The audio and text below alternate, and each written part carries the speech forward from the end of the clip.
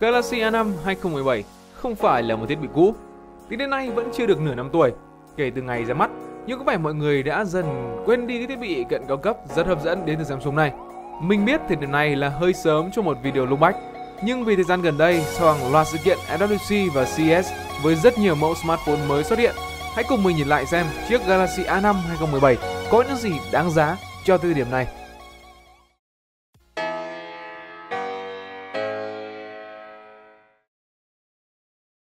Với một thiết kế và công nhận là rất bắt mắt và nhìn từ xa dễ dàng bị lầm tưởng với chiếc Galaxy S7 với hai mặt kính Gorilla Glass 4 bóng 7 và viên kim loại bao quanh thân máy. Phải thú thực là mình rất thích thiết kế này của Samsung. Mặt lưng bao cong mềm mại khiến cho việc cầm nắm trở nên thích thú hơn bao giờ hết. Mỗi tội ở vân tay sẽ bám lại như sắt bám nam châm. Cơ mà rất may mắn là ở các phiên bản màu sáng hơn, như màu hồng mộng mơ mình có ở đây thì vết mồ hôi vân tay rất khó bị phát hiện. Viên camera hoàn toàn phẳng mặt lưng và thậm chí phần kính còn thụt xuống một chút khiến cho việc xước camera là hoàn toàn không xuất hiện. Nhân tiện nói đến camera thì đây cũng là mảng mà A5 2017 làm rất tốt. Cảm biến 16 megapixel với khẩu độ ống kính là f1.9 đem lại tấm ảnh tốt một cách đáng ngạc nhiên. À, đương nhiên không thể so với tay to dòng Galaxy S nhưng cũng không thể chê vào đâu được. Chất ảnh đem lại có màu sắc đẹp mắt, độ nét khá và rất ít noise.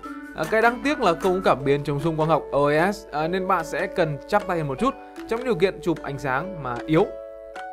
Lật ra mặt trước cũng là một cảm biến 16 megapixel nữa có cùng cổ độ với khả năng cho ra những tấm ảnh tự sướng đúng chất là đẹp không tự nhiên.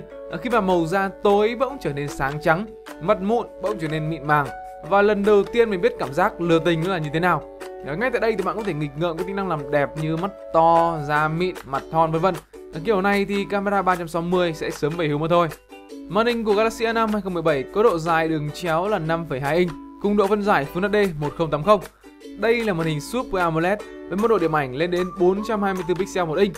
Vì thế có lẽ các bạn sẽ cũng biết được cảm nhận của mình như thế nào.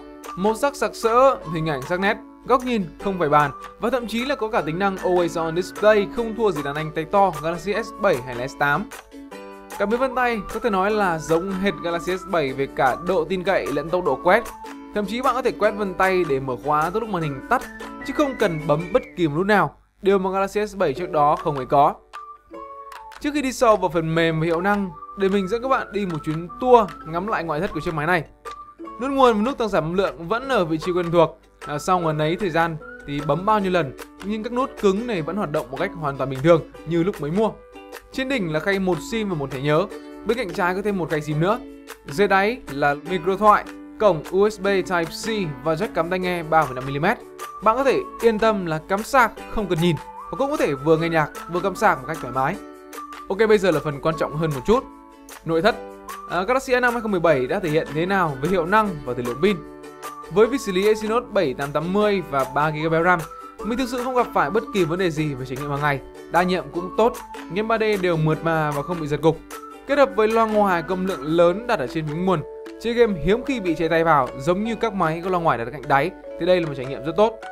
Về pin cũng như vậy khi mà cùng có dung lượng pin là 3000 mAh so với cả Galaxy S7. Nhưng chiếc A5 2017 vượt trội về mọi mặt, từ chơi video, quay phim, chụp ảnh hay lướt web 3G hàng ngày, thời lượng pin không bao giờ khiến mình phải thất vọng và luôn luôn là quá nửa đêm mới cần phải cắm máy vào sạc. Điều cuối cùng và là điều mình thích nhất ở Galaxy A5 2017 là nó có khả năng chống nước và bụi IP68. Mình ước tất cả các máy đều có khả năng này Việc chống nước làm cho cuộc sống của chúng ta trở nên dễ dàng và tiện lợi hơn rất là nhiều. Kể cả đang đi trời mưa luôn điện thoại ra nghe hoặc máy dính bẩn, bạn có thể cho luôn vào vòi nước rửa cũng không thành vấn đề. Vậy là mình vừa chia sẻ với các bạn các trải nghiệm khi sử dụng chiếc Galaxy A5 2017 mà mình đã trải qua trong vài tháng vừa rồi. Hy vọng các bạn cảm thấy video này hữu ích. Đừng quên bấm like nếu thấy video hay và dislike nếu thấy dở và nhấn subscribe nếu muốn xem tiếp các video khác cũng như bình luận bên dưới với những thắc mắc và góp ý cho video này. Xin chào, hẹn gặp lại.